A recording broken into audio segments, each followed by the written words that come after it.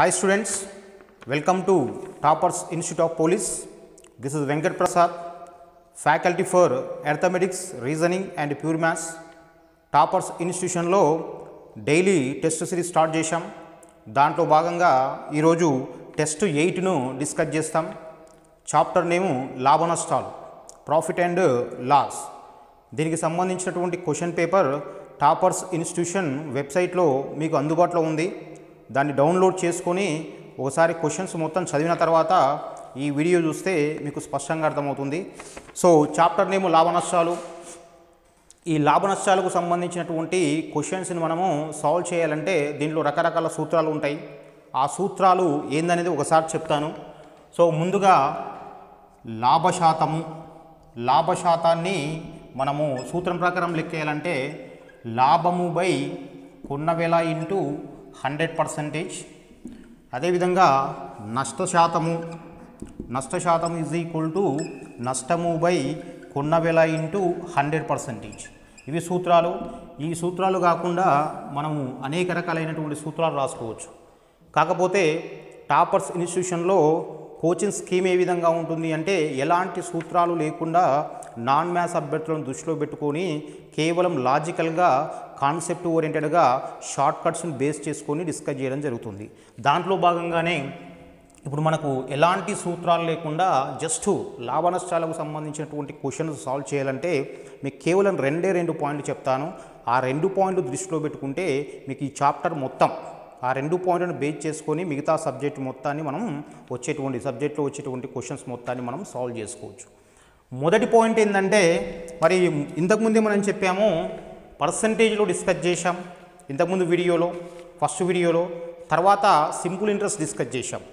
ఇక్కడ లాభ నష్టాల్లో లాభ శాతము నష్ట శాతము శాతం ఉంటుంది కాబట్టి సింపుల్ ఇంట్రెస్ట్లో కూడా వడ్డీ శాతం ఉంటుంది. ఇవన్నీ కూడా పర్సంటేజ్ చాప్టర్ లాభ నష్టాలు సింపుల్ ఇంట్రెస్ట్ కాంపౌండ్ ఇంట్రెస్ట్ ఇవన్నీ కూడా పర్సంటేజ్ను బేస్ చేసుకొని డిస్కస్ చేస్తాం. కాబట్టి ఏ చాప్టర్లో అయినా మీరు అసలు విలువను హండ్రెడ్ పర్సెంటేజ్ తీసుకోమని చెప్పి నేను చెప్పాను. పర్సంటేజ్ డిస్కస్ చేసినప్పుడు అసలు విలువను హండ్రెడ్ పర్సెంట్ తీసుకోమన్నాను. సింపుల్ ఇంట్రెస్ట్ డిస్కస్ చేసినప్పుడు అసలు అసలు అంటే అప్పు అసలు సొమ్ము దాన్ని కూడా హండ్రెడ్ పర్సెంటేజ్ తీసుకోమని చెప్పి చెప్పాను. మీరు వీడియో చూస్తే మీకు అర్థమవుతుంది. సో అదేవిధంగా లాభ నష్టాల్లో కూడా అసలు విలువ లాభ నష్టాల్లో అసలు విలువ ఏంటంటే కొన్న సింపుల్గా ఫస్ట్ పాయింట్ ఏంటంటే కొన్న వెలను హండ్రెడ్ పర్సెంటేజ్గా తీసుకోండి ఏ క్వశ్చన్లో అయినా సరే. లాభ నష్టాలు చాప్టర్ మొత్తంలో అసలు విలువ అంటే కొన్న వేలను ఎల్లప్పుడూ కూడా హండ్రెడ్ పర్సెంటేజ్గా తీసుకుంటాం. ఇది మీరు ఆర్డర్ గమనించండి సింపుల్ ఇంట్రెస్ట్ అయినా సరే కాంపౌండ్ ఇంట్రెస్ట్ అయినా సరే పర్సంటేజ్ అయినా సరే ప్రాఫిట్ లాస్ అయినా సరే అసలు విలువ ఎల్లప్పుడూ హండ్రెడ్ పర్సెంటేజ్ ఇది మొదటి పాయింట్. రెండో పాయింట్ ఏంటంటే లాభశాతాన్నైనా కొన్న లాభశాతాన్నైనా నష్టశాతాన్నైనా కొన్న వేలపై లెక్కించాలి. ఇవి సూత్రాలు. ఇక్కడ లాభశాతం ఈజ్ ఈక్వల్ లాభం బై కొన్న వేల ఇంటూ హండ్రెడ్ పర్సెంటేజ్ నష్టశాతం ఈజ్ ఈక్వల్ నష్టం బై కొన్న వేల ఇంటూ హండ్రెడ్ పర్సెంటేజ్ ఇక్కడ లాభశాతాన్ని మరియు నష్టశాతాన్ని కొన్న వేలపై లెక్కించాం ఇది రెండో పాయింట్. లాభశాతాన్నైనా నష్టశాతాన్నైనా కొన్న వేలపై లెక్కించాలి ఈ రెండు పాయింట్ను బేస్ చేసుకొని మొత్తం ఇప్పుడు మనము ఈ క్వశ్చన్ పేపర్లో ఉన్నటువంటి క్వశ్చన్స్ను సాల్వ్ చేస్తాం. మీకు ఎలాంటి ఫార్ములా అవసరం లేదు. ఇంతకుముందు వీడియోల్లో కూడా ఇంతకుముందు టెస్టుల్లో కూడా మనం డిస్కస్ చేసింది ఫార్ములాస్ లేకుండా డిస్కస్ చేసుకుంటా ఒకటి లేదా రెండు స్టెప్పుల్లో ఆన్సర్ వచ్చే విధంగా మనం డిస్కస్ చేస్తున్నాం. ఈ పేపర్లో కూడా మీకు ఒకటి లేదా రెండు స్టెప్పుల్లో ఆన్సర్ వస్తుంది. దీంట్లో మొదటి ప్రశ్న ఒక వస్తువును కొంత ధరకు అమ్మితే ఐదు శాతం నష్టం వస్తుంది. ఒకవేళ అదే వస్తువును నలభై ఎనిమిది రూపాయలకు ఎక్కువకు అమ్మితే ఏడు శాతం లాభం వస్తుంది. అయితే ఆ వస్తువు యొక్క కొన్న వేల ఎంత? ఇక్కడ వస్తువు యొక్క కొన్న వేలను హండ్రెడ్ పర్సెంట్ తీసుకున్నాం. లాభము అంటే హండ్రెడ్ కలిపి తీసుకోవాలి. ఇరవై శాతం లాభం అంటే వన్ ట్వంటీ పర్సెంటేజ్. ఇరవై ఐదు శాతం లాభం అంటే వన్ ట్వంటీ ఫైవ్ పర్సెంటేజ్ పది శాతం లాభం అంటే వన్ టెన్ పర్సెంటేజ్. లాభము అంటే హండ్రెడ్ ప్లస్ నష్టము అంటే హండ్రెడ్ మైనస్. ఇరవై శాతం నష్టము అంటే వందలో ఇరవై తీసేసి ఎయిటీ పర్సెంట్ తీసుకోవాలి. ఇరవై ఐదు శాతం నష్టం అంటే వందలో ఇరవై ఐదు శాతం తీసి డెబ్బై శాతం తీసుకోవాలి. సో లాభము అంటే వంద ప్లస్ నష్టము అంటే వంద మైనస్. వందను బేస్ చేసుకొని ఈ ప్రాబ్లమ్స్ అనేది మనం డిస్కస్ చేస్తాము. సో ఈ క్వశ్చన్లో ఒక వస్తువును కొంత ధరకు అమ్మితే ఐదు శాతం నష్టం వస్తుంది. ఐదు శాతం నష్టము అంటే వంద మైనస్. వందలో ఐదు పోతే ఎంత? తొంభై ఐదు శాతం. వందని బేస్ చేసుకుంటున్నాం. వందలో ఐదు శాతం నష్టం కాబట్టి తొంభై శాతం.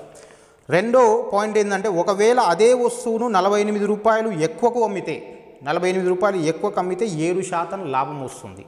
ఏడు శాతం లాభం కాబట్టి వంద కలిపి తీసుకోవాలి. One naught seven percentage. ఇది కొంత ధరకు అమ్మితే తొంభై ఐదు శాతం అసలు ధరలో తొంభై ఐదు శాతం మాత్రమే వస్తుంది. ఇది నలభై ఎనిమిది రూపాయలు ఎక్కువ తీసుకొని అమ్మితే ఏడు శాతం లాభం వస్తుంది. సో నూట ఏడు నూ తొంభై ఐదు శాతానికి మధ్యన తేడా ఎంత అంటే నూట ఏడులో తొంభై ఐదు శాతం తీసేస్తే పన్నెండు శాతం. ఈ పన్నెండు శాతం మనకు అదనంగా వచ్చింది. ఎందుకు అదనంగా వచ్చింది అంటే నలభై ఎనిమిది రూపాయలు ఎక్కువ తీసుకోవడం వల్ల. పన్నెండు శాతానికి నలభై ఎనిమిది రూపాయలు అయితే మీకు కావాల్సింది ఏంది? కొన్న వెల. సో కొన్నవేళ ఎల్లప్పుడూ కూడా హండ్రెడ్ పర్సెంటేజ్. కొన్నవేళ ఎల్లప్పుడూ కూడా హండ్రెడ్ పర్సెంటేజ్. సో పన్నెండు శాతానికి నలభై ఎనిమిది అయితే హండ్రెడ్ పర్సెంటేజ్ ఎంత? Twelve ones twelve fours four into hundred four hundred rupees. Simple logic. ఎలాంటి ఫార్ములా అవసరం లేకుండా హండ్రెడ్ పర్సెంట్ బేస్ చేసుకొని వెళ్ళిపోయాం. ఐదు శాతం నష్టం అంటే తొంభై ఐదు శాతం. ఏడు శాతం లాభం అంటే వన్ నాట్ సెవెన్ పర్సెంట్. ఎలాంటి హడావిడి లేదు. సింపుల్గా హండ్రెడ్ పర్సెంట్ బేస్ చేసుకొని మనం చేసినాం. ప్రతి లెక్కను కూడా లాభ నష్టాల్లో ప్రతి క్వశ్చన్ని కూడా హండ్రెడ్ పర్సెంట్ బేస్ చేసుకొని డిస్కస్ చేయొచ్చు. సో పన్నెండు శాతం ఎందుకు ఇది నలభై ఎనిమిదికి పన్నెండు శాతం అయితే తొంభై శాతానికి నూట ఏడు శాతం. తొంభై ఐదు శాతం రావాల్సింది మనకు నూట ఏడు శాతం వచ్చింది. అంటే వస్తువు ధర పన్నెండు శాతం పెరిగింది. ఎందుకు పెరిగింది వస్తువు ధర పన్నెండు శాతము అంటే నలభై ఎనిమిది రూపాయలు ఎక్కువ తీసుకోవడం వల్ల. సో పన్నెండు శాతానికి నలభై ఎనిమిది అయితే వంద శాతానికి ఎంత? సింపుల్. సో ఈ విధంగా చేయొచ్చు. హండ్రెడ్ పర్సెంటేజ్ను బేస్ చేసుకొని కాకుండా దీ దీన్ని మనం ఇంకో రకంగా డిస్కస్ చేసుకోవచ్చు. సో ఐదు శాతము నష్టము ఏడు శాతము లాభము. ఐదు శాతము నష్టము ఏడు శాతము లాభము. నష్టము లాభము అంటే నష్టము లాభం అంటే సింపుల్గా ఏం చేస్తాం? ప్లస్ చేస్తాం. తేడా. ఇంతకుముందు మనం పర్సంటేజ్లో డిస్కస్ చేసాం కాలం దూరంలో డిస్కస్ చేసినాం. ఎక్కువ తక్కువ అన్న తక్కువ ఎక్కువ అన్న ప్లస్ చేయాలి. తక్కువ తక్కువ ఎక్కువ ఎక్కువ అంటే మైనస్ చేయాలి. పర్సంటేజ్లో డిస్కస్ చేసాం కాలం దూరంలో కూడా డిస్కస్ చేసాం ఈ కండిషన్స్ ఎర్థమెటిక్స్ మొత్తంలో యూజ్ చేసుకోవచ్చు. ఇక్కడ లాభము నష్టము అన్న నష్టము లాభము అన్న ప్లస్ చేయాలి. నష్టము నష్టము అన్న లాభము లాభము అన్న మైనస్ చేయాలి.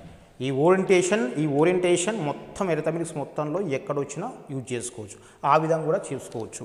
లేదంటే హండ్రెడ్ పర్సెంట్ బేస్ చేసుకొని డిస్కస్ చేయొచ్చు. సో ఇది మొదటి క్వశ్చన్ యొక్క ఎక్స్ప్లెనేషన్ తర్వాత రెండవ క్వశ్చన్ ఒక వస్తువును ఒక వ్యాపారి దాని అసలు ధర కన్నా పది శాతం తక్కువ ధరకు కొని అసలు ధర కన్నా పది శాతం ఎక్కువ ధరకు అమ్మాడు. అయినా అతని యొక్క లాభ శాతం ఎంత? మామూలుగా ఉన్నటువంటి వస్తువు ధర కన్నా కూడా ఈ వ్యాపారి ఏం చేశాడంటే పది శాతం తక్కువ ధరకు కొన్నాడు పది శాతం ఎక్కువ ధరకు అమ్మాడు. మొత్తం మీద అతనికి లాభమా నష్టమా ఎంత శాతం అంటున్నాడు. సింపుల్గా హండ్రెడ్ పర్సెంట్ బేస్ చేసుకోండి. అసలు ధర వంద శాతం లేదా వంద రూపాయలు. ఇది అసలు ధర. బట్ ఈ వ్యాపారి ఏం చేశాడంటే పది శాతం తక్కువ ధరకు కొన్నాడు. అంటే వందలో పది శాతం తీసేస్తే నైంటీకి కొన్నాడు. పర్సెంటేజ్లో తీసుకోవచ్చు లేదా రూపాయల్లో తీసుకోవచ్చు ఎలాంటి ప్రాబ్లం లేదు. అసలు ధర వంద ఉంటే పది శాతం తక్కువ అంటే తొంభై రూపాయలకు కొన్నాడు. మరి అసలు ధర కన్నా పది రూపాయలు లేదా పది శాతం ఎక్కువ ధరకు అమ్మాడు. అంటే వందకు తొ- పది రూపాయలు తక్కువ చేసి తొంభై రూపాయలకు కొన్నాడు. వందకు పది రూపాయలు ఎక్కువ చేసి నూట పది రూపాయలకు అమ్మాడు. సో ఫైనల్గా కొన్న వేల తొంభై రూపాయలు అమ్మిన వేల నూట పది రూపాయలు. అసలు ధర వంద దీనికి పది తక్కువ అంటే తొంభై. కొన్నాడు దీనికి పది ఎక్కువ అంటే నూట పదికి అమ్మాడు. సో ఫైనల్గా తొంభై కొన్నాడు నూట పదికి అమ్మాడు. లాభమా నష్టం అంటే ఇరవై రూపాయల లాభం. మరి ఇరవై రూపాయలు దేని మీద లాభం? తొంభై మీద. లాభశాతాన్ని అయినా అయినా మనము కొన్న విలపై లెక్కేస్తాం. సో లాభశాతం ఇరవై బై తొంభై ఇంటూ హండ్రెడ్ పర్సెంటేజ్. సో సున్నా సున్నా cancel two into hundred two hundred by nine. కొట్టేస్తే తొమ్మిది రెంట్ల పద్దెనిమిది రెండు మిగులుతుంది పక్కన సున్నా మళ్ళీ తొమ్మిది రెంట్ల పద్దెనిమిది మిగిలేది రెండు. Twenty two two by nine percentage profit so ఇక్కడ కూడా మనం వంద శాతాన్ని బేస్ చేసుకొని చేసినాం. ఎలాంటి సూత్రం ఉపయోగించలేదు. రెండో పాయింట్ ఏంటంటే లాభ శాతాన్ని అయినా నష్ట శాతాన్ని అయినా కొన్న వేలపై లెక్కిస్తాం. ఈ రెండు పాయింట్లను బేస్ చేసుకొని వెళ్ళిపోవచ్చు. సో ఇది రెండో క్వశ్చన్కి ఎక్స్ప్లెనేషన్ తర్వాత మూడో క్వశ్చన్ ఒక మోసపూరిత వ్యాపారి తన వస్తువుల కొన్న వెలపై ఇరవై శాతం లాభాన్ని పొందుతాడు మరియు అసలు బరువు కన్నా ఇరవై ఐదు శాతం తక్కువ బరువును ఉపయోగిస్తాడు. అయితే అతనికి మొత్తం మీద వచ్చే లాభ శాతం ఎంత? సో మోసపూరిత వ్యాపారి వస్తువుల యొక్క కొన్న వెలపై ఇరవై శాతాన్ని లాభాన్ని తీసుకుంటాడు. అతడు ఎంత వంద రూపాయలకు కొంటే నూట ఇరవై రూపాయలకు అమ్ముతాడు. కానీ ఇంకో విషయం ఏంటంటే మరియు అసలు బరువు కన్నా ఇరవై ఐదు శాతం తక్కువ బరువును ఉపయోగిస్తున్నాడు. అంటే ఒక కేజీ ఉంటే దాంట్లో ట్వంటీ ఫైవ్ పర్సెంట్ లెస్ చేస్తున్నాడు. అంటే ఏడు వందల యాభై గ్రాములను మాత్రమే ఉపయోగిస్తున్నాడు. వస్తువు ధరనేమో ఇరవై శాతం పెంచుతున్నాడు. వంద రూపాయలకు ఉన్నదాన్ని ఇరవై రూపాయలు ఎక్కువ. నూట ఇరవై రూపాయలకు అమ్ముతున్నాడు. తర్వాత బరువులో ఒక కేజీ బియ్యం ఉందనుకోండి ఒక కేజీ బియ్యంలో ట్వంటీ ఫైవ్ పర్సెంట్ లెస్ చేస్తున్నాడు. అంటే ఏడు వందల యాభై గ్రాములు మాత్రమే ఉపయోగిస్తున్నాడు. అంటే ఇక్కడ దీన్ని చైన్ రూల్లో సింపుల్గా షార్ట్కట్లో ఒకటే మెథడ్లో వేస్తాం ఒకటే స్టెప్లో మనకి ఇంతకుముందు చైన్ రూల్ ఉపయోగించాం పర్సంటేజ్లో డిస్కస్ చేశాం. మనకు సింపుల్ ఇంట్రెస్ట్లో ఉపయోగపడుతుంది. ఆ తర్వాత నెక్స్ట్ కాలముద్రంలో ఉపయోగించడం రేషియో ప్రపోర్షన్లో ఉపయోగించడం ఇక్కడ కూడా ఉపయోగిస్తాం. Chain rule. సో సింపుల్గా ఏంటంటే వ్యాపారి ఒక కేజీ అంటే వెయ్యి గ్రాములు కొన్నాడు. ఈ వెయ్యి గ్రాములను ఎంతకు అమ్ముతున్నాడు? ఇరవై శాతం లాభానికి అమ్ముతున్నాడు. కొన్నది ఎంతకు? వంద రూపాయలకు కొన్నాడు. కానీ దాని ధరను పెంచిండు. వెయ్యి గ్రాములు తీసుకొచ్చి దాని ట్వంటీ పర్సెంట్ ప్రాఫిట్ అన్నాడు. ట్వంటీ పర్సెంట్ ప్రాఫిట్ అంటే మనకు వన్ ట్వంటీ పర్సెంట్ ఏం చెప్పాను. హండ్రెడ్ పర్సెంట్ బేస్ చేసుకుంటాం. లాభము అంటే వందకు గలపాలి నష్టము అంటే వందలో నుంచి తీసేయాలి. సో బట్ ఇది విషయం. వెయ్యి గ్రాములను అదే వెయ్యి గ్రాములు ఇవ్వట్లేదు. దాంట్లో ట్వంటీ ఫైవ్ పర్సెంటేజ్ను తీసి పక్కకు పెడుతున్నాడు. ట్వంటీ ఫైవ్ పర్సెంటేజ్ వెయ్యి గ్రాముల్లో ట్వంటీ ఫైవ్ పర్సెంటేజ్ అంటే రెండు వందల యాభై గ్రాములను పక్కకు పెడుతున్నాడు. మరి మిగిలింది ఎంత? ఏడు వందల యాభై గ్రాములను మాత్రమే అమ్ముతున్నాడు. ఈ ఏడు వందల యాభై గ్రాముల మీద వచ్చే లాభ శాతం ఎంత? Simple step. వెయ్యి గ్రాములు ఒక కేజీ ఇక్కడ వెయ్యి గ్రాములే కాదు. మీరు వంద గ్రాములు తీసుకోవచ్చు యాభై గ్రాములు తీసుకోవచ్చు ఐదు కేజీలు తీసుకోవచ్చు పది కేజీలు తీసుకోవచ్చు. మనకు ట్వంటీ ఫైవ్ పర్సెంట్ లెస్ చేయాలి కాబట్టి సింపుల్గా ఉండడానికి ఇక్కడ వెయ్యి గ్రాములు అని చెప్పి తీసుకున్నాం. సో దీన్ని సింప్లిఫై చేస్తే సున్నా సున్నా క్యాన్సల్ ఇరవై ఐదు మూల ఇరవై ఐదు నాలుగుల మూడెక్కం మూడు నలభైల. Then x is equal forty fours one sixty percent one sixty percent profit కాదు మళ్ళీ వంద శాతాన్ని బేస్ చేసుకోవాలి. సో వన్ సిక్స్టీ పర్సెంటేజ్ అంటే దీంట్లో అసలు ఎంత? హండ్రెడ్ పర్సెంటేజ్ కాబట్టి మనకు వచ్చిన ప్రాఫిట్ ఏంటి? సిక్స్టీ పర్సెంటేజ్ సో ఇది ఎక్స్ప్లెనేషన్ చైన్ రూల్ను ఎప్పుడు ఉపయోగిస్తాము అనేది మనం ఇంతకుముందు వీడియోలో డిస్కస్ చేశాం. తీసుకున్న రెండు అంశాలు విలోమానుపాతంలో ఉన్నప్పుడు చైన్ రూల్ను ఉపయోగిస్తాం. ఇక్కడ బరువు లాభశాతం. తక్కువ బరువును ఉపయోగిస్తే తక్కువ బరువును ఉపయోగించి అమ్మితే లాభం ఎక్కువ వస్తుంది ఎక్కువ బరువును ఉపయోగిస్తే లాభం తక్కువ వస్తుంది లేదా నష్టం వస్తుంది. కాబట్టి బరువు మరియు లాభశాతం రెండు విలోమానుపాతంలో ఉంటాయి కాబట్టి చైన్ రూల్లో డిస్కస్ చేశాం. ఈ లెక్కను రకరకాల మోడల్స్తో చేయొచ్చు. ప్రతి లెక్కను ఎడతమెటిక్స్లో కనీసం నాలుగు నుంచి ఐదు మోడల్స్లో చేయొచ్చు. మనం సింప్లెస్ట్ మెథడ్ ఆ తర్వాత దీనికి ముందున్న లెక్కలు దీని తర్వాత వచ్చే లెక్కలు కూడా క్యాచీగా ఉండేటట్టుగా ఆ మోడల్స్ తీసుకొని డిస్కస్ చేస్తాం. ముఖ్యంగా నాన్ మ్యాథ్స్ అభ్యర్థులను దృష్టిలో పెట్టుకొని టాపర్స్ ఇన్స్టిట్యూషన్లో కోచింగ్ ఇవ్వడం జరుగుతుంది. కాబట్టి సింపుల్గా దీని మీద దీన్ని బేస్ చేసుకొని ఈ చైన్ రూల్ని బేస్ చేసుకుంటే మోసపూరిత వ్యాపారికి సంబంధించినటువంటి ఎటువంటి లెక్కనైనా మీరు డిస్కస్ చేయొచ్చు సాల్వ్ చేయొచ్చు. దీనికి సంబంధించి ప్రతి ఎగ్జామినేషన్లో ఒక క్వశ్చన్ వస్తుంది. కాబట్టి ఇది. సో ఇక్కడ రెండో పాయింట్ ఏంటంటే వస్తువు యొక్క ధర ఎంత అనేది ఇవ్వలేదు. ఇరవై రూపాయల ముప్పై రూపాయల ఆ వస్తువు ఏంది మనకి ఇవ్వలేదు మనకు అవసరం లేదు. ఇరవై రూపాయల ముప్పై రూపాయల నలభై రూపాయల ఎంత కొన్నాడు ఎంత కమ్మిని ఇవ్వలేదు. ఒకవేళ ధర ఇస్తే ఆ ధరలు కింద రాసేయాలి. ఈ విధంగా. ఎంత కొన్నాడు ఎంత కమ్మిడు.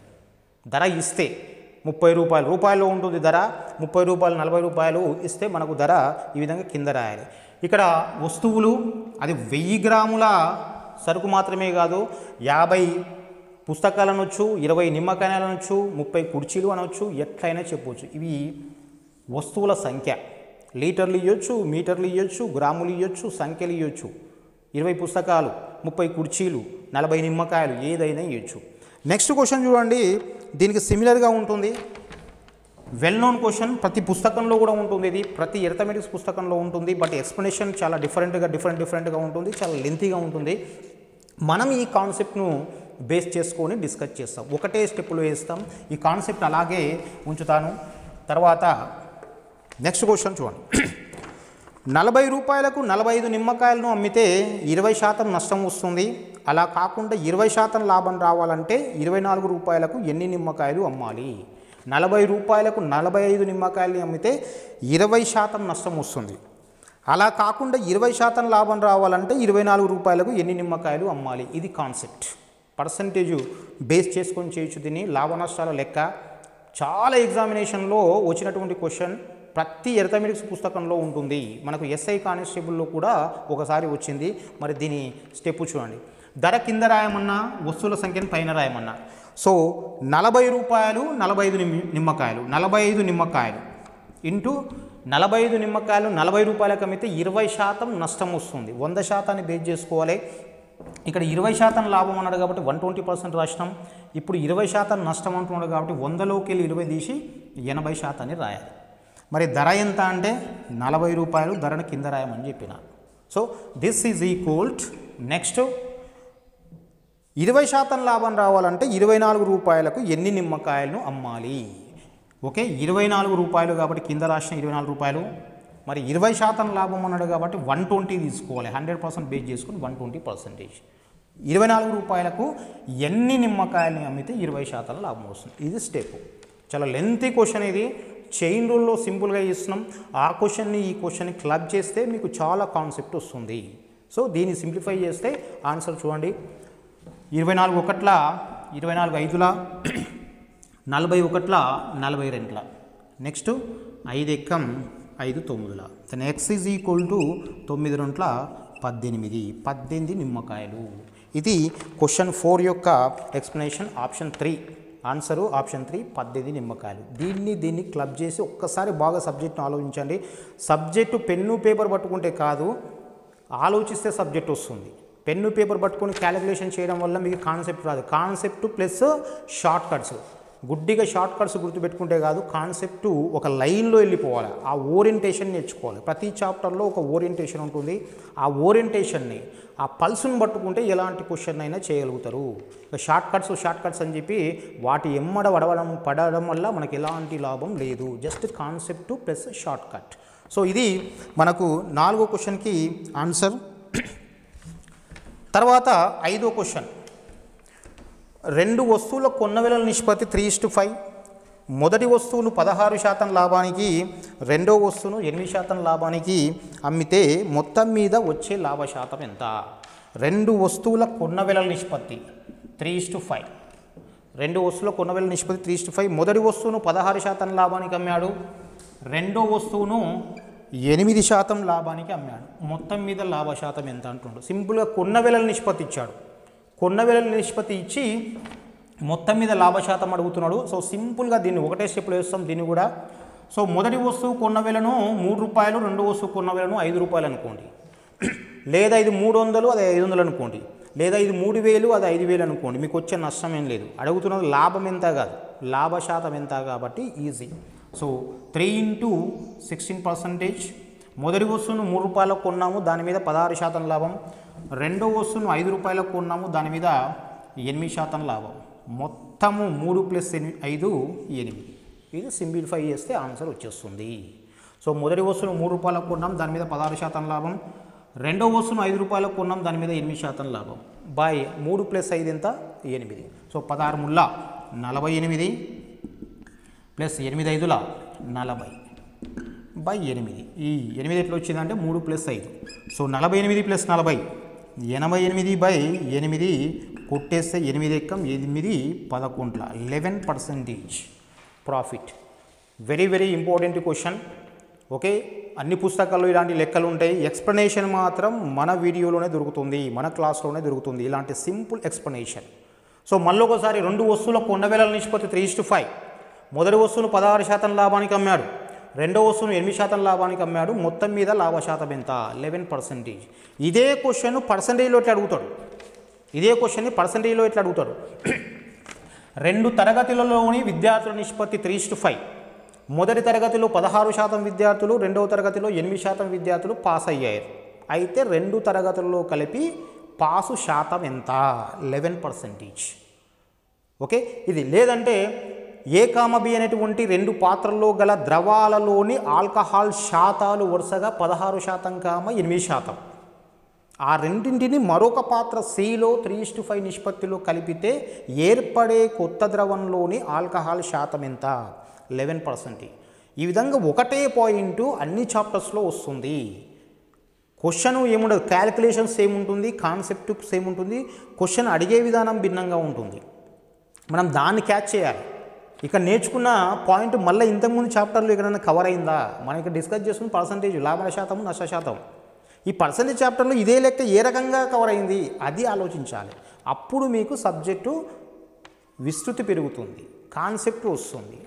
ఆ క్వశ్చన్ ఈ క్వశ్చన్ ఒకటే అని చెప్పి ఐడియా వచ్చినప్పుడు సబ్జెక్టు మీకు ఈజీగా అనిపిస్తుంది సబ్జెక్టు చదవడానికి ఇంట్రెస్ట్ అనిపిస్తుంది. సో ఇదే క్వశ్చన్ని మనం పర్సంటేజ్లో అడగవచ్చు లాభ నష్టాల్లో అడగవచ్చు సో ఇదే లెక్కను ఇంకా రివర్స్లో అడగవచ్చు అంటే మొదటి వస్తువును పదహారు శాతం లాభానికి అమ్మినాం రెండో వస్తువును ఎనిమిది శాతం లాభానికి అమ్మినాం. రెండు వస్తువుల కొన్న వేల నిష్పత్తి త్రీ ఇస్టు ఫైవ్. అయితే మొత్తం మీద లాభ శాతం ఏంటంటే పదకొండు శాతం. ఇప్పుడు ఏంటంటే ఇది ఇస్తాడు. ఇది ఇచ్చి నిష్పత్తి అడుగుతాడు. అంటే క్వశ్చన్ ఫ్రేమ్ చేస్తున్నాం చూడండి. మొదటి వస్తువును పదహారు శాతం లాభానికి అమ్మినాం రెండో వస్తువును ఎనిమిది శాతం లాభానికి అమ్మినాం. మొత్తం మీద పదకొండు శాతం లాభం వచ్చింది. అయితే రెండు వస్తువుల కొన్న వెలల నిష్పత్తి ఎంత అంటాడు. ఏం చేస్తావు? సింపుల్గా మెథడ్ ఆఫ్ అలిగేషన్లో చేస్తాం మొదటి వస్తువును పదహారు శాతం లాభానికి అమ్మినాం రెండో వస్తువును ఎనిమిది శాతం లాభానికి అమ్మినాం మొత్తం మీద పదకొండు శాతం లాభం వచ్చింది. Okay method of alligation method of alligation కడుతున్నప్పుడు ఒక విషయం గుర్తుపెట్టుకోమన్నా మధ్య విలువ ఒక దానికంటే చిన్నగా ఉండాలి ఒక దానికంటే పెద్దగా ఉండాలి. సో పదహారు మైనస్ పదకొండు ఐదు పదకొండు మైనస్ ఎనిమిది మూడు. So three to five. ఇది. ఓకే అక్కడ నిష్పత్తి ఇచ్చి లాభశాతం అడిగాడు ఇక్కడ లాభశాతం ఇచ్చి నిష్పత్తి అడుగుతున్నాడు. ఈ కాన్సెప్ట్ మళ్ళీ బాగా ఒకసారి చూసుకోండి. చాలా సబ్జెక్టు వస్తుంది. నెక్స్ట్ క్వశ్చన్ దీని మీదనే మనం డిస్కస్ చేస్తాం. Sixth question. ఒక టీవీ మరియు ఒక సెల్ ఫోన్ కొన్న వేల మొత్తం ముప్పై వేల రూపాయలు. టీవీని పద్దెనిమిది శాతం లాభానికి సెల్ ఫోన్ను ముప్పై శాతం లాభానికి అమ్మితే మొత్తం మీద ఇరవై శాతం లాభం వస్తుంది. అయినా టీవీ యొక్క కొన్న వెల ఎంత? ఇంతకుముందు డిస్కస్ చేసినటువంటి కాన్సెప్ట్కి సంబంధించి ఒక క్వశ్చన్ మళ్ళీ దానికి రెలవెంట్గా ఇచ్చాను చూసుకోండి. టీవీ మరియు సెల్ ఫోన్ కొన్న వేల మొత్తం ముప్పై వేల రూపాయలు థర్టీ థౌజండ్ రూపీస్ దీన్ని డివైడ్ చేయాలి. అది టీవీ ప్లస్ సెల్ ఫోన్ రెండింటి యొక్క మొత్తం కొన్న వేల ముప్పై వేల రూపాయలు. దాంట్లో టీవీ కొన్న వేల ఎంత సెల్ ఫోన్ కొన్న వేల ఎంత మనం చెప్పాలి. టీవీని ఏం చేసినామంటే టీవీని పద్దెనిమిది శాతం లాభానికి అమ్మినాం. సెల్ ఫోన్ని ముప్పై శాతం లాభానికి అమ్మినాం మరి మొత్తం మీద ఇరవై శాతం లాభం వచ్చింది. Method of allegation. సో మధ్య విలువ ఒకదానికంటే చిన్నగా ఉంది ఒకదానికంటే పెద్దగా ఉంది. సో ముప్పై మైనస్ ఇరవై పది ఇరవై మైనస్ పద్దెనిమిది రెండు. కొట్టేస్తే five is to one.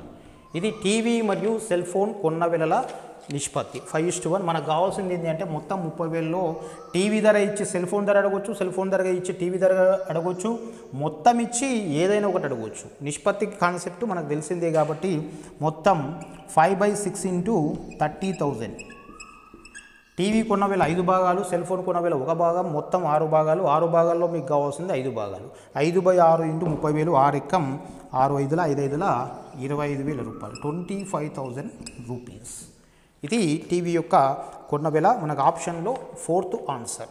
So ఇంతకుముందు క్వశ్చన్ రివర్స్లో చేస్తే ఈ మెథడ్ ఆఫ్ అలిగేషన్ మీద ప్రతి ఎగ్జామినేషన్లో లాభ నష్టాలకు సంబంధించి మెథడ్ ఆఫ్ అలిగేషన్లో ఎస్ఐ కానిస్టేబుల్లో ఆల్మోస్ట్ రెండు వేల పదహారు రెండు వేల పద్దెనిమిది ఎస్ఐ పీసీ ప్రతి ఎగ్జామినేషన్లో ఆల్మోస్ట్ ఒక క్వశ్చన్ పడింది. ఓసారి ప్రీవియస్ క్వశ్చన్ పేపర్ చూసుకోండి. ఇది మెథడ్ ఆఫ్ అలిగేషన్లో సింపుల్ టెక్నిక్. దీని తర్వాత నెక్స్ట్ క్వశ్చన్ సెవెంత్ క్వశ్చన్. ఒక వ్యాపారి రెండు కార్లను ప్రతి దానిని యాభై వేల రూపాయలకు అమ్మాడు. ఇంతకుముందు కొన్న వెళ్ళి ఇచ్చాడు ఇక్కడ అమ్మాడు. రెండు కార్లను ప్రతిదాన్ని యాభై వేల రూపాయలకు అమ్మాడు. మొదటి దానిపై ఇరవై శాతం లాభం రెండవ దానిపై పది శాతం నష్టం వచ్చింది. మొత్తం మీద అతనికి లాభమా నష్టమా ఎంత శాతం? మొత్తం మీద అతనికి లాభమా నష్టమా ఎంత శాతం? ఇంతకుముందు కొన్న ఇచ్చాడు ఇక్కడ అమ్మిన వేలు ఇచ్చాడు. మొదటి వస్తువును యాభై వేలకు అమ్మాడు రెండో వస్తువును కూడా యాభై వేలకు అమ్మాడు. మొదటి దాని మీద ఇరవై శాతం లాభం వచ్చింది రెండవ దాని మీద పది శాతం నష్టం వచ్చింది. మొత్తం మీద లాభమా నష్టమా? వెరీ డిఫరెంట్ క్వశ్చన్ ఈ క్వశ్చను ఎక్కువగా ఎస్ఎస్సీజీల్లో అడిగేటువంటి మోడల్ ఇది. బట్ ఫస్ట్ టైం రెండు వేల పదహారు తెలంగాణ ఎస్ఐ మెయిన్స్ ఎగ్జామినేషన్లో ఇవ్వడం జరిగింది. దీనికి చాలామంది విద్యార్థులు ఆన్సర్ చేయలేకపోయారు చాలా తక్కువ మంది చేశారు. ఎందుకంటే చాలా డిఫరెంట్ మోడల్ ఇది. దీనికి సూత్రం ఉంటుంది. దీనికి ఆన్సర్ డైరెక్ట్గా రావాలంటే hundred into x plus y plus two x y by hundred two hundred plus x plus y ఇది సూత్రం. ఇక్కడ ఎక్స్ లాభము అంటే ప్లస్ తీసుకుంటాం నష్టము అంటే మైనస్ తీసుకుంటాం. రెండు లాభాలు అయితే రెండు ప్లస్లు రెండు నష్టాలు అయితే రెండు మైనస్లు ఒకటి లాభము ఒకటి నష్టం అయితే ఒక ప్లస్ ఒక మైనస్ తీసుకుంటాం. బట్ ఈ సూత్రం మనకు గుర్తుండదు. బట్ మనం ఏం చేస్తామంటే సింపుల్గా లాజికల్గా కాన్సెప్ట్ ప్రకారం వెళ్తాం. ప్రతి వస్తువును యాభై వేల రూపాయలకు అమ్మాడంటే ఇక్కడ విషయం ఏంది? రెండు వస్తువులను కూడా ఒకే ధరకు అమ్మాడు. ప్రతి వస్తువు యాభై వేలు ఆయన ధర ఇవ్వాల్సిన అవసరం కూడా లేదు. నీవు లెక్కను ధరతో మొదలు పెట్టవు కూడా. ధరతో మొదలు పెడితే లెక్క మనకు సాల్వ్ కాదు. రెండు వస్తువులను ఒకే ధరకు అమ్మాడు అని చెప్పి చెప్తాడు. అదే ప్రాసెస్లో వెళ్తాం. సో రెండు వస్తువులను చూడండి. మొదటి వస్తువు కొన్న వేళ అమ్మిన వేళ. మొదటి వస్తువు మీద ఏం చేశాడు ఆయన? ఇరవై శాతం లాభానికి అమ్మాడు. ఇరవై శాతం లాభం అంటే మనం ముందే చెప్పినాం. అసలు విలువను వంద శాతం అనుకుంటాం. ఇరవై శాతం లాభం అంటే వన్ ట్వంటీ పర్సెంటేజ్ మొదటి వస్తువుకు సంబంధించి కొన్న వేల మరియు అమ్మిన వేలను తీసుకుంటున్నా. కొన్న వేల ఎల్లప్పుడూ వంద శాతం కాబట్టి మరి మొదటి వస్తువును ఇరవై శాతం లాభానికి అమ్మితే వన్ ట్వంటీ పర్సెంట్. వంద కలిపి తీసుకోవాలి. సింప్లిఫై చేస్తే ఏమొస్తుంది? ఇరవై ఐదుల ఇరవై ఆరుల. Five is to six. సింపుల్గా మొదటి వస్తువును ఐదు రూపాయలకు కొన్నాడు ఆరు రూపాయలకు అమ్మాడు. రెండో వస్తువు మీద ఏమైంది అంటే పది శాతం నష్టం వచ్చింది. అంటే హండ్రెడ్ రూపీస్ కొన్నాడు బట్ నైంటీ రూపీస్కే అమ్మాడు. సో కొట్టేస్తే ఎంత అవుతుంది మనకు? టెన్ ఇస్ టు నైన్ అవుతుంది. ఫైనల్గా మాట్లాడుకుంటే మొదటి వస్తువును ఐదు రూపాయలకు కొన్నాడు ఆరు రూపాయలకు అమ్మాడు. రెండో వస్తువును పది రూపాయలకు ఉన్నాడు తొమ్మిది రూపాయలకు అమ్మాడు. దీన్ని ఎక్కువ కొన్నాడు కాబట్టి లాభం వచ్చింది. దీన్ని ఎక్కువకు అమ్మాడు కాబట్టి లాభం వచ్చింది. దీన్ని తక్కువ కమ్మాడు కాబట్టి నష్టం వచ్చింది. కానీ ఇక్కడ పాయింట్ ఏంటి అంటే అమ్మిన వేలలు సమానంగా ఉండాలి.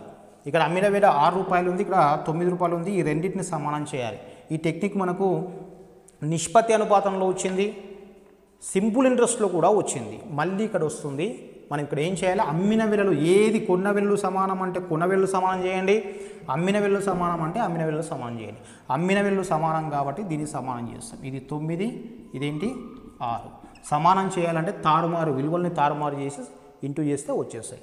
సో తొమ్మిది ఐదుల నలభై ఐదు ఆరు తొమ్ముల యాభై నాలుగు పది ఆరుల అరవై తొమ్మిది ఆరుల యాభై నాలుగు సో మొదటి వస్తువుల మొదటి వస్తువు రెండో వస్తువు కొన్న వేళ మొత్తం నలభై ఐదు రూపాయలు ప్లస్ అరవై రూపాయలు నూట ఐదు రూపాయలు యాభై నాలుగు ప్లస్ యాభై నాలుగు నూట ఎనిమిది. ఫైనల్గా చెప్పే విషయం ఏంటంటే రెండు వస్తువులను కలిపి నూట ఐదు రూపాయలకు కొని రెండు వస్తువులను కలిపి నూట ఎనిమిది రూపాయలకు అమ్మాం మరి లాభమా నష్టమా? లాభం. ఎందుకంటే కొన్న విల కంటే అమ్మిన విల ఎక్కువ ఉంది కాబట్టి లాభం. ఎంత లాభం? మూడు రూపాయలు. మరి లాభ శాతం ఎంత అంటే మూడు బై నూట ఐదు ఇంటూ హండ్రెడ్ పర్సెంటేజ్. ఎందుకు నూట ఐదు అంటే రెండో పాయింట్ చెప్పిన లాభశాతాన్నైనా నష్టశాతాన్నైనా కొన్న విలపై లెక్కేస్తాం. సో సింపుల్గా ఐదు ఇరవై ఒకట్ల ఐదు ఇరవైలా. మూడెక్కం మూడు ఏళ్ళ ఫైనల్గా మిగిలింది twenty by seven. Twenty by seven so కొట్టేస్తే ఇయర్ రెంట్ల పద్నాలుగు మిగిలేది six by seven percent profit. మొత్తం మీద వచ్చినటువంటి లాభం ఏంటంటే two six by seven percent profit. దీనికి సంబంధించినటువంటి ఎక్స్ప్లెనేషన్ ఇంత సింపుల్గా ఏ పుస్తకంలో మీకు ఉండదు. ఎందుకంటే ఇది డిఫరెంట్ క్వశ్చన్ చాలా డిఫికల్ట్ క్వశ్చన్. చాలా రేర్గా అడుగుతున్నాడు. ఎస్ఐ ఎగ్జామినే ఎగ్జామినేషన్లో అడిగాడు కాబట్టి మళ్ళీ అడిగే అవకాశం ఉంటుంది. ఒకసారి చూసుకోండి. ఇంతకంటే సింపుల్ ఎక్స్ప్లెనేషన్ మీ పుస్తకాల్లో దొరకదు. రైట్. దీనికి సంబంధించి మళ్ళీ ఒక నెక్స్ట్ క్వశ్చన్ ఎయిత్ క్వశ్చన్ చూడండి. సిమిలర్గా ఉంటుంది. ఈ రెండు క్వశ్చన్స్ డిస్కస్ చేస్తే ఈ కాన్సెప్ట్ మీద మీకు కంప్లీట్గా కమాండ్ వస్తుంది. రైట్. Eighth question. ఒక వ్యక్తి రెండు వస్తువులను కలిపి మూ మూడు వేల నాలుగు వందల ఇరవై రూపాయలకు మూడు వేల నాలుగు వందల ఇరవై రూపాయలకు అమ్మాడు. అమ్మాడు. ఇవి కూడా అమ్మిన ధరలు అమ్మిన ధరలు ఇచ్చినప్పుడు ఈ ప్రాసెస్లో వెళ్ళాలి. కొన్న వేలలు ఇచ్చినప్పుడు మెథడ్ ఆఫ్ ఎలిగేషన్లో వెళ్ళండి. అమ్మిన వేలలు ఇచ్చినప్పుడు ఈ ప్రాసెస్లో వెళ్ళండి. ఒక దానిపై పది శాతం నష్టం రెండవ దానిపై ఇరవై ఐదు శాతం లాభం వచ్చింది. మరియు మొదటి వస్తువు కొన్న వేళ రెండవ వస్తువు అమ్మిన వేలకు సమానం. అయినా అతనికి మొత్తం మీద లాభమా నష్టమా ఎంత? ఇక రెండు వస్తువులను కలిపి మూడు వేల నాలుగు వందల ఇరవై రూపాయలకు అమ్మాడు. మరి మొదటి వస్తువు పైన మొదటి వస్తువును పది శాతం నష్టానికి అమ్మాడు. కాబట్టి పది శాతం నష్టము అంటే హండ్రెడ్ ఇస్ నైంటీ. సేమ్ ప్రాసెస్లో వెళ్దాం. వంద రూపాయలకు కొన్నాడు పది శాతం నష్టం అంటే నైంటీ. మరి టెన్ ఇస్ టు నైన్ అవుతుంది. అంటే మొదటి వస్తువు కొన్న వేళ మరియు అమ్మిన వేళ నిష్పత్తి ten is to nine. Okay? రెండో వస్తువును ఇరవై ఐదు శాతం లాభానికి అమ్మాడు. హండ్రెడ్ రూపీస్ కొంటే ఇరవై ఐదు శాతం లాభం అంటే వన్ ట్వంటీ ఫైవ్ రూపీస్. వంద శాతాన్ని బేస్ చేసుకోవాలి సింపుల్గా. లాభము అంటే వంద ప్లస్ నష్టము అంటే వంద మైనస్ పది శాతం నష్టము అంటే నైంటీ పర్సెంటేజ్ ఇరవై ఐదు శాతం లాభము అంటే వన్ ట్వంటీ ఫైవ్ వంద ప్లస్ ట్వంటీ ఫైవ్. కొట్టేస్తే ఇరవై ఐదు నాలుగుల ఇరవై ఐదు ఐదుల. ఇది రెండో వస్తువు యొక్క కొన్న వెల మరియు అమ్మిన వెలల నిష్పత్తి. ఇంతకుముందు లెక్కలో రెండు వస్తువుల అమ్మిన వెలలు సమానం. బట్ ఈ లెక్కల మొదటి వస్తువు కొన్న వేళ రెండో వస్తువు అమ్మిన వెలకు సమానం. ఇంతకుముందు రెండు వస్తువులు అమ్మిన వేళ సమానం కాబట్టి ఈ రెండు సమానం చేసినాం. మిత్రులు ఇప్పుడు మొదటి వస్తువు కొన్న వేళ రెండో వస్తువు అమ్మిన వెలకు సమానము. కాబట్టి ఏ రెండు సమానం చేయాలి? ఈ విలువ ఈ విలువ సమానం చేయాలి. ఇక్కడ చూడండి ఎన్ని రకాల క్వశ్చన్స్ అడగవచ్చు మనం. మొదటి వస్తువు కొన్న వేళ రెండో వస్తువు అమ్మిన వేళ సమానం. లేదా మొదటి వస్తువు యొక్క అమ్మిన వేళ రెండో వస్తువు యొక్క కొన్న వేళ సమానం. చాలా మోడల్స్ని మనం డిస్కస్ చేసుకోవచ్చు. కాబట్టి ఇది సమానం చేయాలి అంటే దీన్ని పది ఉంది కాబట్టి సింపుల్ గుణిజం కాబట్టి దీన్ని రెండుతో ఇంటూ చేస్తే చాలు. సో దీన్ని ఎలాంటి మార్పు చేయం? టెన్ ఇస్ నైన్ నాలుగు రెంట్ల ఎనిమిది ఐదు రెంట్ల పది. సో ఫైనల్గా మొదటి వస్తువు కొన్న వేళ రెండో వస్తువు అమ్మిన వేళ సమానం. మొదటి వస్తువు రెండు వస్తువు రెండు వస్తువుల యొక్క కొన్న వేళ పద్దెనిమిది అమ్మిన వేల పంతొమ్మిది. సో మనకి ఈ మూడు వేల నాలుగు వందల ఇరవై రూపాయలు ఏంది అంటే రెండు వస్తువుల అమ్మిన వేలలు అంటే పంతొమ్మిది భాగాలు. పంతొమ్మిది భాగాలకు మూడు వందల మూడు వేల నాలుగు వందల ఇరవై రూపాయలు అయితే క్వశ్చన్ ఏంది అంటే లాభమా నష్టమా ఎంత? లాభమా నష్టమా అంటే ఇక్కడ చూస్తే తెలిసిపోతుంది మనకు. ఇది పద్దెనిమిది పంతొమ్మిది కాబట్టి లాభం. ఎన్ని భాగాలు లాభం అంటే ఒక భాగం లాభం. ఎంత లాభము అంటే పంతొమ్మిది ఎక్కం పంతొమ్మిది పద్దెనిమిదిల. నూట ఎనభై రూపాయలు మనకు లాభం వస్తుంది. ఇది టాపర్స్ ఇన్స్టిట్యూషన్ నిర్వహించినటువంటి ఫ్రీ టాలెంట్ టెస్ట్ సిక్స్లో ఇచ్చినటువంటి క్వశ్చన్. చాలామంది విద్యార్థులు దీనికి ఎక్స్ప్లెనేషన్ అడిగారు. దానికోసం వీడియో ముఖంగా నేను దీనికి ఎక్స్ప్లెనేషన్ ఇస్తున్నాను. టాపర్స్ ఇన్స్టిట్యూషన్లో ప్రతి పదిహేను రోజులకు ఇరవై రోజులకు ఒకసారి ఫ్రీ టాలెంట్ టెస్ట్ కండక్ట్ చేస్తాము. ఇది ఓపెన్ కాంపిటీషన్. ఏ విద్యార్థి అయినా దీనిలో పాల్గొనవచ్చు. ప్రతి విద్యార్థి వచ్చినటువంటి ప్రతి విద్యార్థికి మనం ఫ్రీ రిటర్న్ గిఫ్ట్ ఇస్తున్నాం పుస్తకము లేకపోతే టీ షర్ట్ ఇస్తున్నాం. తర్వాత ఫస్ట్ ప్రైజ్ వచ్చిన వాళ్ళకు ఐదు వేల రూపాయలు సెకండ్ ప్రైజ్ వచ్చిన వాళ్ళకు రెండు వేల ఐదు వందల రూపాయలు. తర్వాత ఈ రెండు ప్రైజులు కాకుండా టాప్ టెన్ మెంబర్స్కి ప్రతి ఒక్కరికి వెయ్యి రూపాయల చొప్పున ప్రైజ్ మనీ ఇస్తున్నాం. ప్రతిభ ఉన్నటువంటి విద్యార్థులను ప్రోత్సహించాలనేటువంటి ఉద్దేశంతో ఈ టెస్ట్ నిర్వహిస్తున్నాం. కాబట్టి ఇంతవరకు సిక్స్ టెస్టులు కండక్ట్ చేసాం త్వరలో టెస్ట్ సెవెన్ కూడా కండక్ట్ చేస్తాం. ఇది ఓపెన్ కాంపిటీషన్ ఏ విద్యార్థి అయినా పాల్గొనవచ్చు దీంట్లో ఎలాంటి సందేహం లేదు. సో టెస్ట్ సిక్స్లో ఇచ్చినటువంటి క్వశ్చన్ ఇది. టిపికల్గా ఉంది ఎక్స్ప్లెనేషన్ ఇవ్వమని చెప్పి అడిగారు విద్యార్థులు. దానికోసం ఈ ఎక్స్ప్లెనేషన్ ఇస్తున్నాను ఇక్కడ కొన్న వేళ మొదటి వస్తువు కొన్న వేళ రెండు వస్తువు అమ్మిన వేళ సమానము. దాన్ని బేస్ చేసుకొని చేశాం. ఈ ఓరియంటేషన్ బాగా నేర్చుకోండి. దీని మీద మనకు ఒక క్వశ్చన్ వచ్చేటువంటి అవకాశం ఉంటుంది. సో ఈ టెస్ట్లో చివరి క్వశ్చన్ తొమ్మిదో క్వశ్చన్ ఒక దుకాణదారుడు ఒక వస్తువు యొక్క ప్రకటిత వేలపై ఇరవై శాతం డిస్కౌంట్ను ఇచ్చిన తర్వాత పన్నెండు శాతం లాభాన్ని పొందుతాడు. అయితే దాని కొన్న వేల కంటే ప్రకటన వేల ఎంత శాతం అధికం? వెల్ నోన్ క్వశ్చన్ రెండు వేల పద్దెనిమిది పోలీస్ రిక్రూట్మెంట్ ఎగ్జామినేషన్లో నాలుగైదు సార్లు వచ్చినటువంటి క్వశ్చన్ ఓకే డిస్కౌంట్స్ మీద ఇచ్చాడు. ఒక దుకాణదారుడు ఒక వస్తువు యొక్క ప్రకటిత విలపై ఇరవై శాతం డిస్కౌంట్ను ఇచ్చిన తర్వాత పన్నెండు శాతం లాభాన్ని పొందాడు. అయితే దాని కొన్న విల కంటే ప్రకటన విల ఎంత శాతం అధికం? దీన్ని చైన్ రూల్ చైన్ రూల్లో ఒక్క స్టెప్లో వేసేస్తాం. చైన్ రూల్లో ఒక్క స్టెప్లో వేసేస్తాము. ఎందుకు చైన్ రూల్ ఉపయోగిస్తున్నాము? ఎప్పుడు చైన్ రూల్ ఉపయోగిస్తాము అంటే ఇచ్చినటువంటి రెండు వేరియబుల్స్ విలోమానుపాతంలో ఉన్నప్పుడు. ఇక్కడ లాభ శాతము డిస్కౌంట్. సింపుల్గా జనరల్గా ఆలోచించండి. మనము తక్కువ డిస్కౌంట్ ఇస్తే ఎక్కువ లాభం వస్తుంది ఎక్కువ డిస్కౌంట్ ఇస్తే తక్కువ లాభం వస్తుంది. ఇక్కడ ఇరవై శాతం డిస్కౌంట్ ఇస్తే పన్నెండు శాతం లాభం వచ్చింది. అయితే కొన్న వేళ అమ్మిన వేళ కొన్న వేళ మరియు ప్రకటన వేళల నిష్పత్తి ఎంత అనొచ్చు? లేదా కొన్న వేళ కంటే ప్రకటన వేళ ఎంత శాతం అధికం అని చెప్పి అనొచ్చు.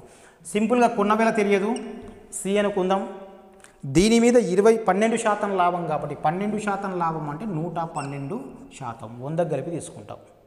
నెక్స్ట్ ప్రకటన విలువ తెలియదు మార్కెట్ ప్రైస్ దాన్ని ఎం అనుకోండి ఈ మార్కెట్ ప్రైస్ మీద ట్వంటీ పర్సెంట్ డిస్కౌంట్ కాబట్టి ఈ డిస్కౌంట్ అంటే తీసేస్తాం. వంద శాతాన్ని వేట్ చేసుకున్నాం. అసలు విలువ అది కొండ విలువ కావచ్చు ప్రకటన విలువ కావచ్చు వంద శాతం. దాంట్లో ట్వంటీ పర్సెంట్ అయిపోతే ఎయిటీ. దీన్ని సింప్లిఫై చేస్తే మీకు ఆన్సర్ వస్తుంది. సో పదహారు ఐదుల పదహారు ఏళ్ళ సో ఎమ్మిట్ వస్తే సి బై ఎం దాన్ని ఏం రాస్తాం? సిఈస్ టు ఎం రాస్తాం.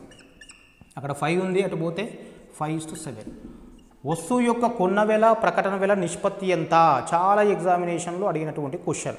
వస్తువు యొక్క కొన్న వేళ ప్రకటన వేళ నిష్పత్తి ఎంత? ఫైవ్ టు సెవెన్ కానీ అడుగుతున్నది వస్తువు యొక్క కొన్న వేలను కొన్న వేలపై ఎంత శాతం అధికంగా ప్రకటన వేలను నిర్ణయించాం? కాబట్టి ఇది ఐదు భాగాలు ఇది రెండు ఏడు భాగాలు పెరిగింది రెండు భాగాలు.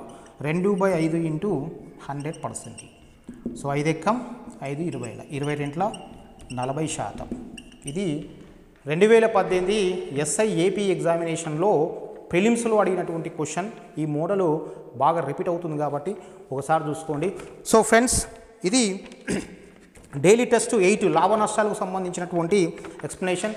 ఈ విధంగా మీకు ఈ మొత్తం వీడియోలో లాభ నష్టాలకు సంబంధించినటువంటి ఏ క్వశ్చన్ని కూడా మనం ఏ ఫార్ములా లేకుండా యూజ్ చేసాం టాపర్స్ ఇన్స్టిట్యూషన్లో విద్యార్థులందరికీ కూడా ఈ విధంగా ఎలాంటి సూత్రాలు లేకుండా షార్ట్ కట్స్ను బేస్ చేసుకొని కాన్సెప్ట్ను బేస్ చేసుకొని నాన్ మ్యాథ్స్ అభ్యర్థులను బేస్ చేసుకొని చెప్పడం జరుగుతుంది.